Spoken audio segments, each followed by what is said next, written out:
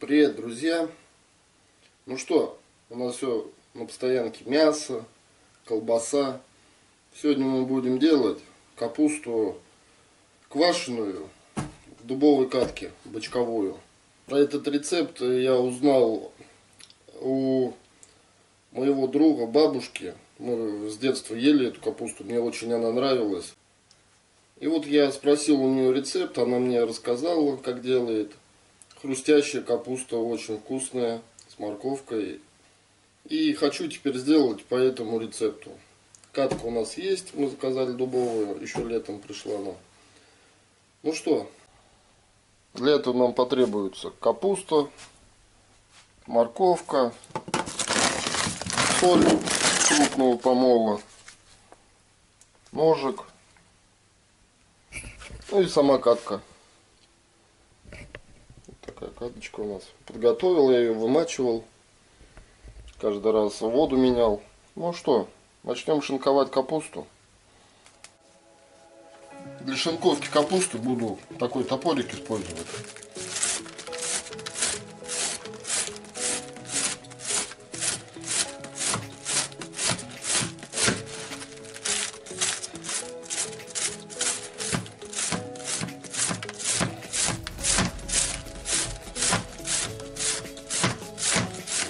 Получается вот такая длинная. Просто если ножом буду я резать, это будет очень долго. Всю капусту это перерезать, там 15 килограмм.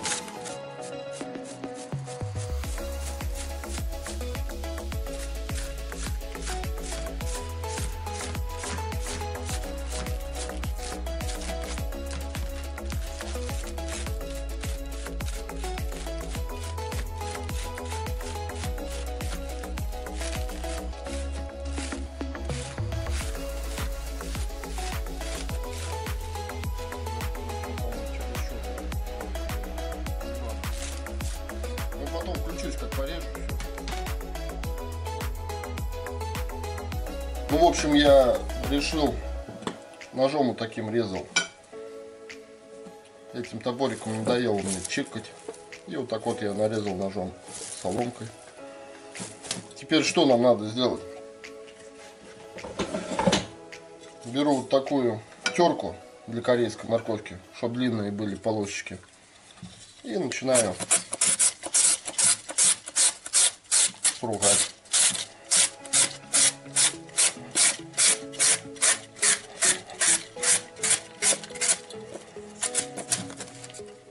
Вот такая получается морковочка у нас. Тоже длинненькая. Капуста и морква одинаково получается. Сейчас несколько морковок натру.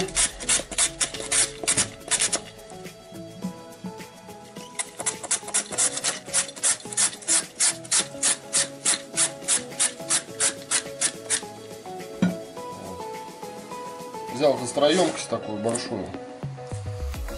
И буду сейчас здесь засаливать. По соли у нас выходит один качан я сюда порезал.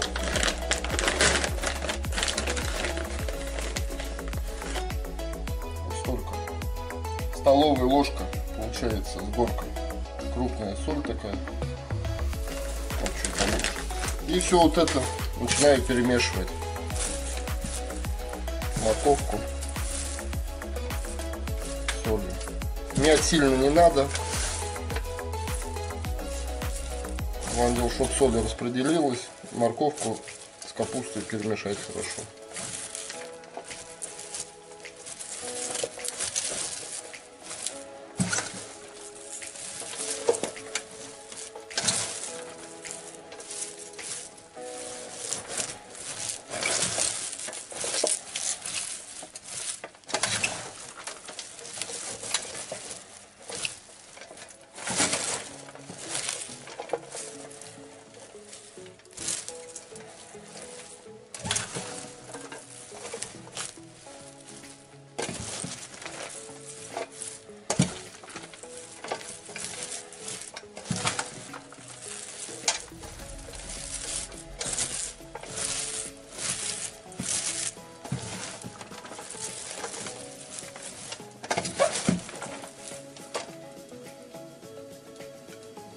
Ну вот, перемешал все. Уже даже сок начинает выделяться. Пробуем на соль.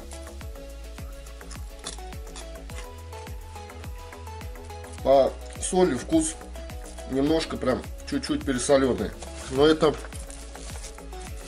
так и нужно, что соль это же как консервант идет у нас природой.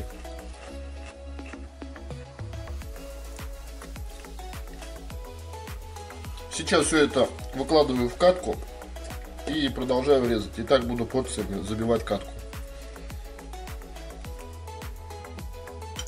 Вот, вот так вот я ножом режу.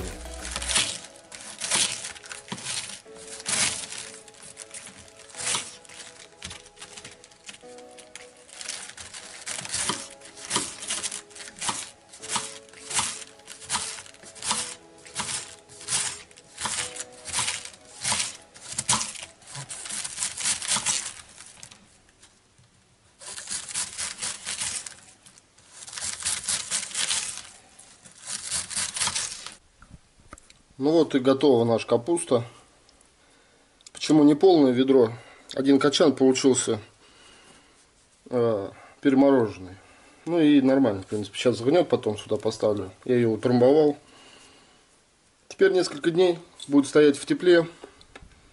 А потом в подвал перенесем. На данный момент закрываю крышкой. И оставляем дней 5-6 Пускай она стоит, закисает. А потом в подвал. А через месяц сок или через сколько там попробуем. Всем пока. Спасибо за просмотры. Подписывайтесь, кто не подписан. Будет много интересного.